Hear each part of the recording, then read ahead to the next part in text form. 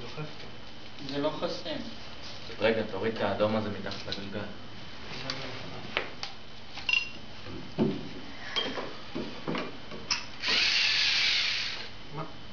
אה, כן, כי עשינו את זה על קול וזה יהיה שקורה. את זה. עשינו לו שאנחנו נגיד לו מתי לעצור. אז צריך יותר